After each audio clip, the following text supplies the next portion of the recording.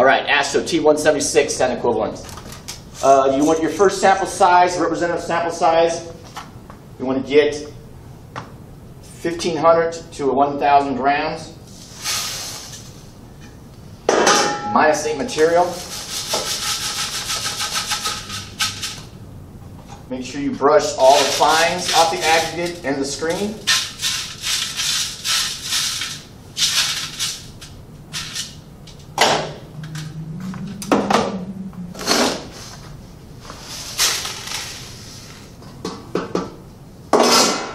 From that 1,000 to 1,500 grams of material, you are going to break that down to your working sample of 500 to 750 grams. Basically, cut both of them in half.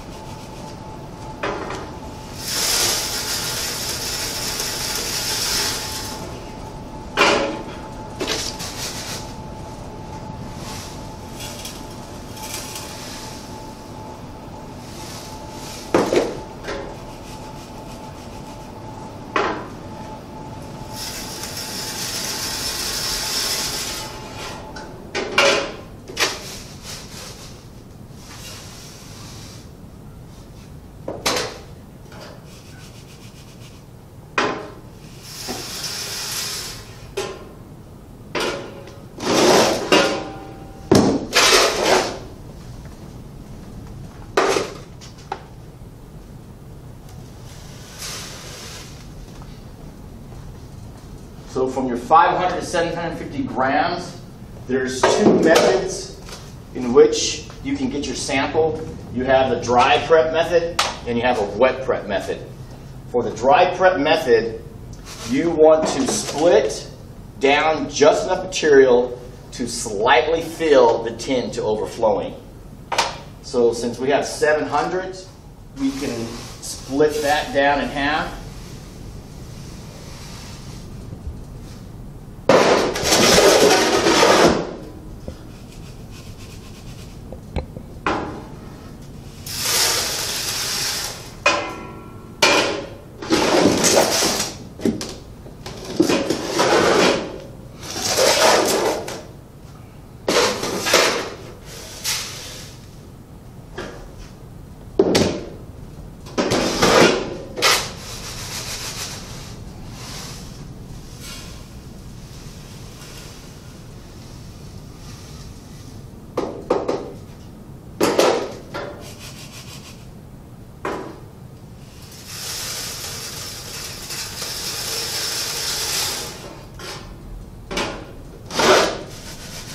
So hopefully this will give us slightly more than overflowing with the tin.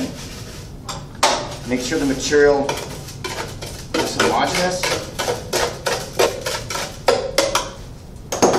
Then as you fill this up with the corner of this, you will tap until just overflowing.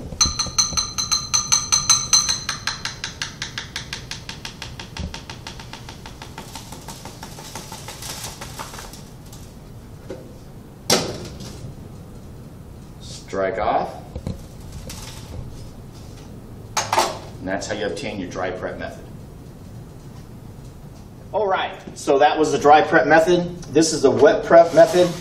In order to do the wet prep method, your material has to be in the proper moisture condition. To check and see if it's in the proper moisture condition, you want to grab a sample, squeeze it in your hand, and it should hold a cast. If it does not hold a cast, you want to add a few millimeters of water.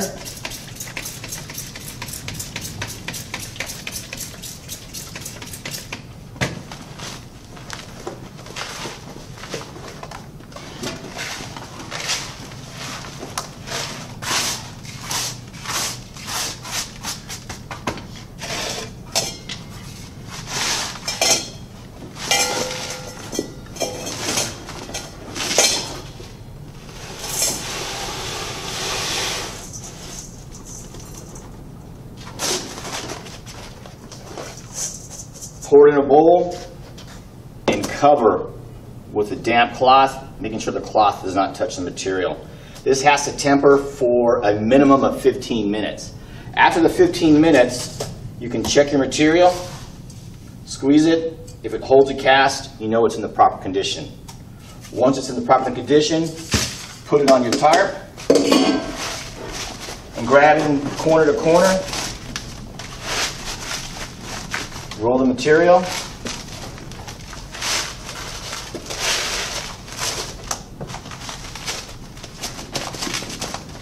Get into a pile. Then with one hand on one on one side, you're going to take the tin, push it through the pile, and then apply pressure to put the maximum amount of material into the tin, and then strike off with your straight edge. So there's your two methods for obtaining your sample. And then to make this a referee method, the reference method, you will dry. Either way, you can take it dry prep or wet prep. You will dry this back in an oven at 230 plus or minus 9 until you reach constant mass. All right. So once you have your sample, either method, you are going to fill your cylinder up to the 4 inch plus or minus 0.1 inch line with your solution. Your solution has to be at a temperature of 72 plus or minus 5 degrees.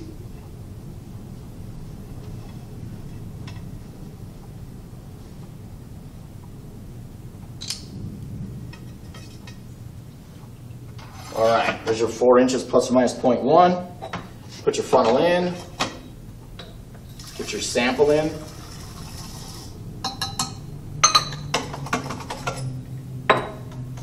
Make sure you tap the bo bottom to incorporate all your material to release any bubbles that are trapped. And then you are going to let this sit for 10 minutes plus or minus one minute. After the 10 minutes plus or minus one minute period is up, you stopper it and then release the bottom, and then we're going to put in the shaker.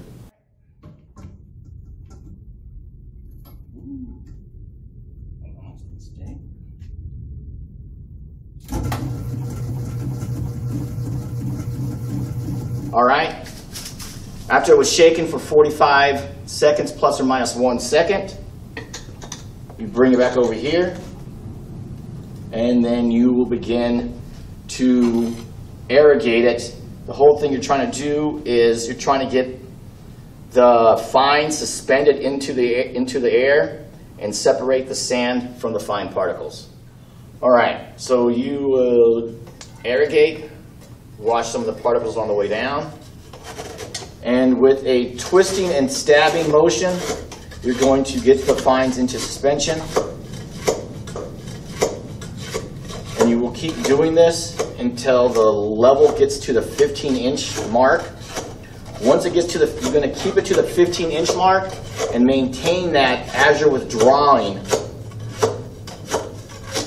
the irrigation tube.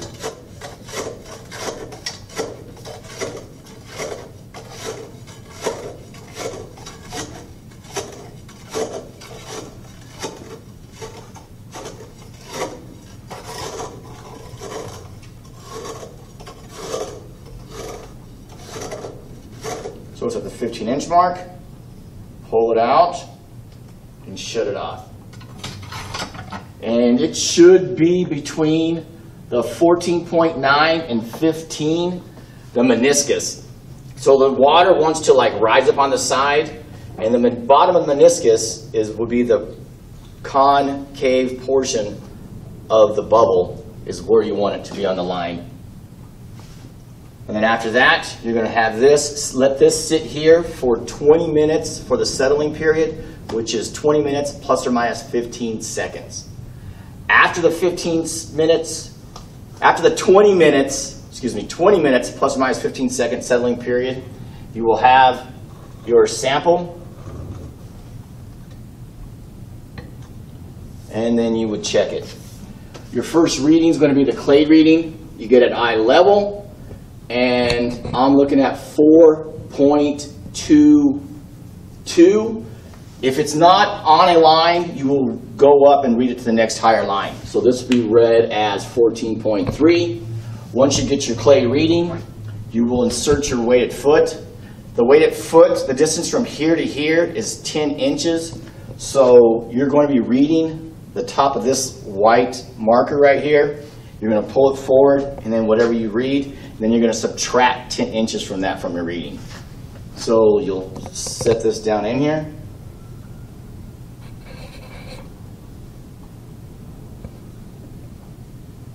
Let it sit.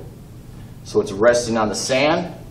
You pull it forward and you read 13.51. So that's going to be rounded up to 13.6 minus 10. So 3.6 would be your sand reading.